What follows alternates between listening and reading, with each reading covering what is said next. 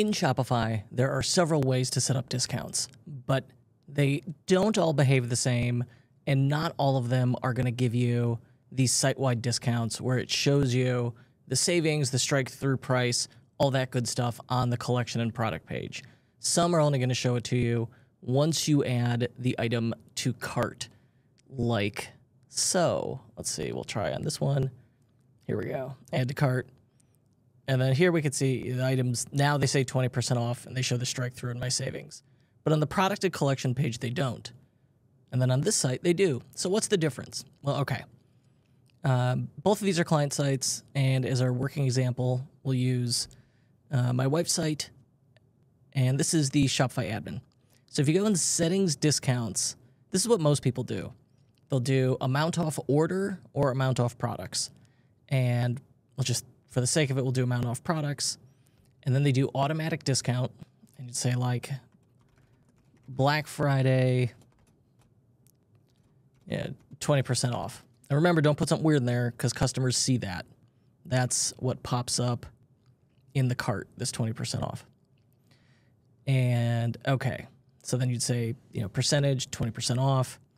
And maybe you want to apply it to specific products or specific collections. I generally do specific collections. Makes my life easier. And the way I like to do that is you go collection, like literally make one it, called, I'm gonna call this one Black Friday sale. Um, up to, say Black Friday sale, 20% off put it in my online store only. And if I want it to be the entire store, I'm to go price is greater than zero. Boom. And then it'll give me all of those. But by doing the collections, then we could sort through this pretty easily um, and apply our discount selectively. And so I'll say, make it easy to make sure I get it. Copy that ID out of the URL. You don't have to do that. You know, that's just my pro move. And we'll add that and we have set a minimum purchase amount or quantity of items. So we'll say one. And in this case, I'm fine if they combine that with product discounts. And then you would set an end date. So I'd say start date you know, can be this evening, and our end date is going to be the 28th. Save. And now that's going to work. But it'll only apply the discount in the cart and the checkout. We want to show it sooner. So if you want to show it sooner, here's the other way you do it. So here I'm going to deactivate this discount. Um, deactivate, deactivate. I might as well delete this discount.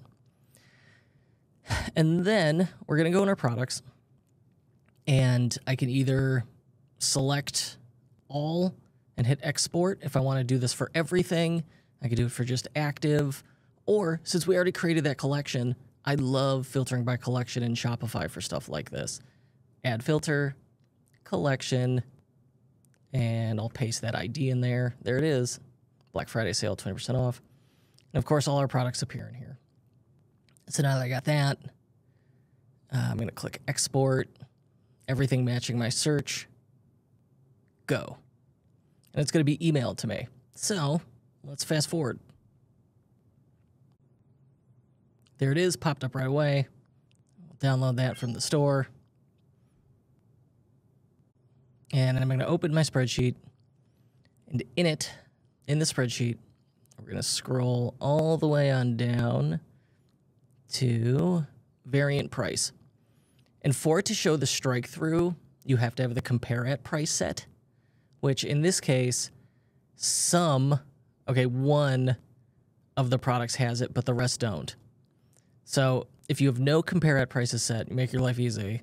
You could just copy the variant price column and paste it into the compare at price column. But if, like me, you've got some products that have an item set already, and so that means the item's already on sale, we got to filter those out. So we're going to go quick filter, and we're just going to say only show me the blank ones. There we go. So by limiting it that way, now I'm not going to overwrite the one that's set.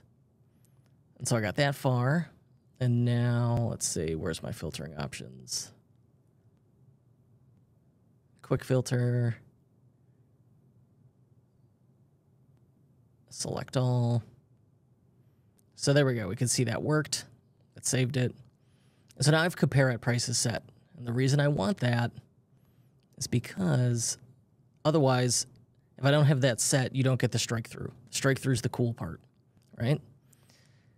Now that we've got this, how are we going to set this price? Uh, if you have Shopify Launchpad installed, you're a Shopify Plus user, you can use that. But for the rest of us normal folks, we're going to have to do it this way. I'm going to call this my, call that temporary. And we're going to do a formula to make this work. And so we're going to say um, equals variant price. And then we're going to do some math. We're going to say times 0.8. So I want to discount it 20%. So really, I want my price to be 80% of retail. So that'll discount at 20%. And there we go. Shows me 320 instead of $4. And then we'll just check my math here. Yep, that should work. Okay. So now I've got this. I need to paste this all the way down, but now it's it's like setting these zero dollar values. I don't want that. So what we're going to do is again filter, quick filter, our price column, and I don't want to show blank. And so now this will work. So now that I got that, I'm just gonna drag this guy all the way on down. There we go. Now it's it's done it. It worked. And so I'm going to copy this column. Copy. And when I paste it, it's going to break. Watch what happens. Oh, it's smarter than me. It worked. All right, so depending on what spreadsheet system you're using, it may not, it may post the formula and screw it up. So there should be an option for either copy values or, yeah, and numbers, it's Shift Command V, paste formula results. So I hit that, that worked. And now my temp column, I'm to delete that. And now I've got it set. I got my variant price, got my variant compare at price, and I want to hide. I got my quick filter going. Let's just go back, double check it. Things look good. So now I'm to do file. Sorry, you can't see that. File export CSV. And we'll save our CSV.